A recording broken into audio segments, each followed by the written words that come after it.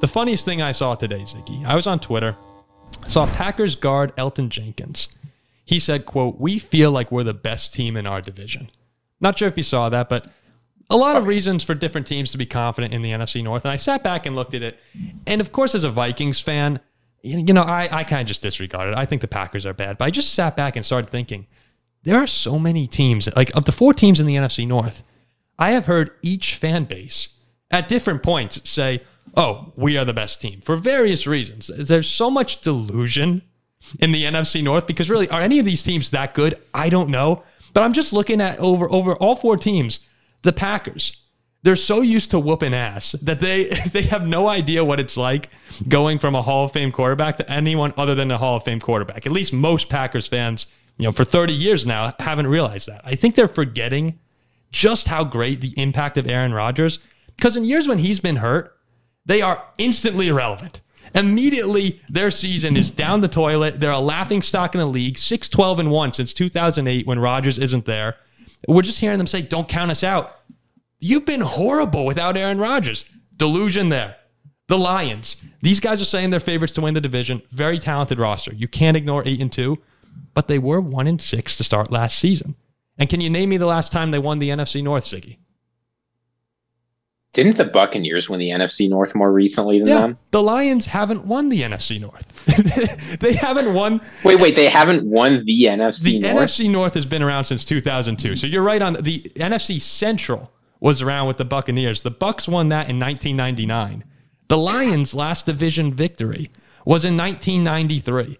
We're 30 years since the Detroit Lions division championship. The Buccaneers, who don't even exist in, in the division anymore, have won the championship more recently. So when I look at the Lions right now and all their fans who are getting excited, I get it. You're very talented, but you haven't ever won the division. So I'm not buying that. The Vikings, speaking of ghosts, speaking of cursed franchises, no one's more haunted than them in all of sports. And here you see me and you, Ziggy, we're saying Kirk Cousins, top 10 quarterback in the league. We have one of the worst defenses in the NFL, but me and you are right here saying Brian Flores is going to come in and magically fix everything. I, I can't help but say I am delusional as well. And then we, that blows us over to the Windy City in Chicago, where I have to listen to Bears fans tell me that Justin Fields and his 60.4% completion percentage is about to take over this division. And it checks out because the golden boy of this franchise at quarterback has been Jay Cutler for most living Bears fans. The only ones you'll find who are saying, no, no, no, no. Sid Luckman back in the 1940s. You're 80 years old if you've seen anything better than Jay Cutler in a Bears uniform. So I, I look over top to bottom NFC North. Lions delusion, Packers delusion, Vikings delusion, Bears delusion.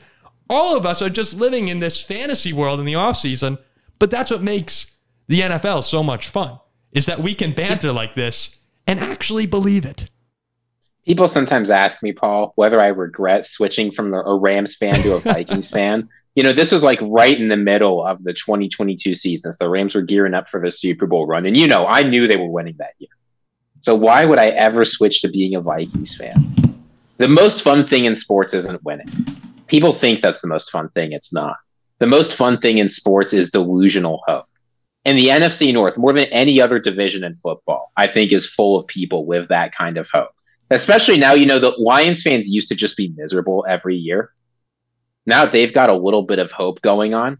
The NFC North, find me a more delusional division. I mean, maybe you can look at the AFC East.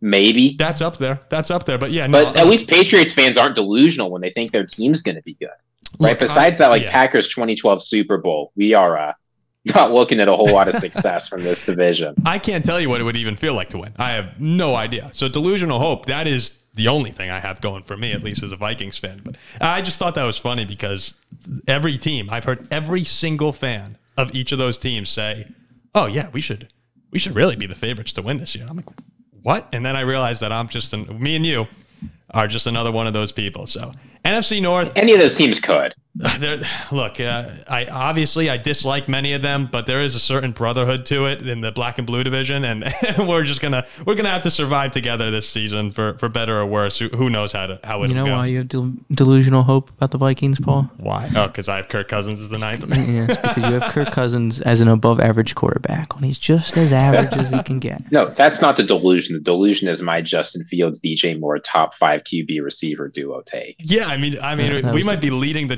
charge of NFC delusion, so or NFC North delusion. So, look, who knows? Maybe maybe it'll be a a, a good conference in, or a good division in, in the league this year. We'll, we'll, we'll only we'll have to find out.